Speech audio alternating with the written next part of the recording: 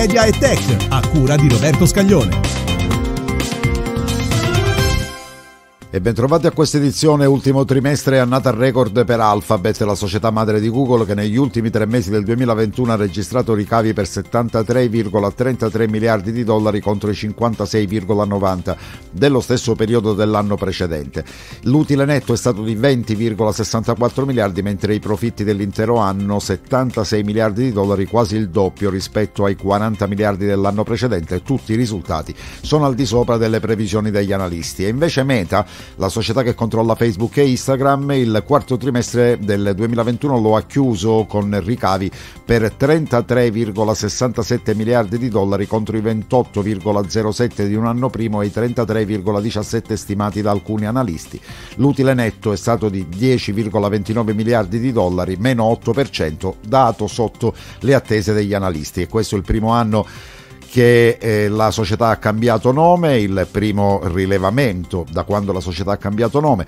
Per il trimestre in corso invece Meta prevede ricavi tra i 27 e i 29 miliardi di dollari, mentre gli analisti si attendevano una cifra intorno ai 34,53 miliardi. Per la prima volta inoltre Meta ha postato i risultati della sua unità Reality Labs, quella focalizzata sulla nuova frontiera della realtà aumentata, anche in questo caso risultati deludenti con una perdita di 3,3 miliardi.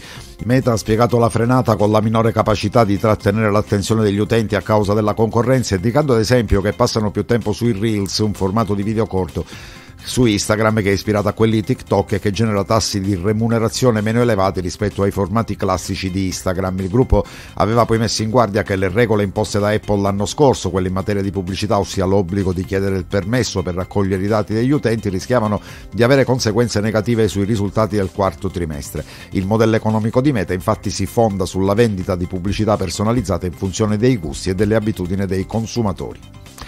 E la ricerca italiana con il Consiglio nazionale delle ricerche adesso ha a disposizione uno strumento in più grazie all'ingresso nella rete dei computer quantistici dell'IBM. I ricercatori potranno infatti utilizzare i 20 computer quantistici della rete, fra i quali l'innovativo Eagle, per applicazioni in numerosi ambiti, dalla comprensione del mondo fisico fino alla progettazione di nuovi farmaci. E il CNR è la prima istituzione italiana a partecipare al Quantum Network di IBM, ha detto la presidente Maria Chiara Carrozza. Questo accordo apre alla possibilità di cooperazione con prestigiosi partner internazionali che svolgono ricerca nel settore delle quantum technologies e mette a disposizione dei nostri ricercatori e dello sviluppo del paese uno strumento di frontiera avanzatissimo in grado di segnare una svolta rivoluzionaria in diversi settori a partire da quello informatico. L'accesso alla rete è destinato in particolare ai ricercatori dell'Istituto di Calcolo e Reti ad alte prestazioni dell'Istituto di Informatica e Telematica, ma in futuro potrà essere esteso a tutti gli altri istituti del CNR.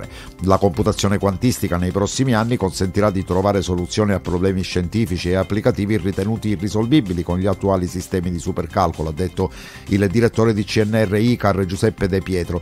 Ciò, ha aggiunto, comporterà un cambiamento radicale nel modo di pensare alla progettazione di algoritmi e software aprendo nuovi campi di ricerca. Per Alessandro Curioni, direttore di IBM Research per l'Europa, le possibili applicazioni vanno dai modelli per simulare accuratamente il mondo fisico ed eventualmente progettare farmaci e materiali migliori agli strumenti per affrontare problemi di ottimizzazione complessi come quelli legati alla modellazione del clima e della finanza.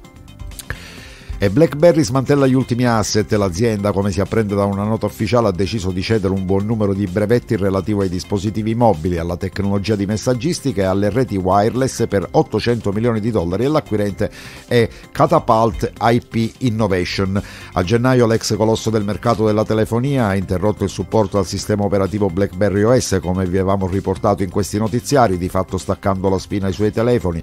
La società resta concentrata sulla fornitura di software e servizi servizi di sicurezza alle imprese, oltre ad essere presente nel mercato automobilistico con la piattaforma QNX. Attualmente il marchio BlackBerry è gestito in licenza dalla statunitense Onward Mobility, secondo un rapporto del sito specializzato Apple Insider, la mossa di vendere i brevetti potrebbe causare problemi ad altre società di smartphone come Apple, più volte citate in giudizio per presunte violazioni dei brevetti BlackBerry. Ma cause sono state messe in piedi negli anni anche contro Nokia, Facebook e WhatsApp, oltre che Snapchat e Twitter Twitter. Catapult IP Innovations, la società che li ha acquisiti, potrebbe seguire le sue orme per capitalizzare il suo investimento. Secondo gli osservatori, infatti, è un cosiddetto patent troll, ovvero una società che compra brevetti e diritti di proprietà intellettuale senza però produrre né vendere nulla, ma ottiene profitti esclusivamente dalle cause legali. E per questa edizione è tutto da Roberto Scaglione, appuntamento alla prossima.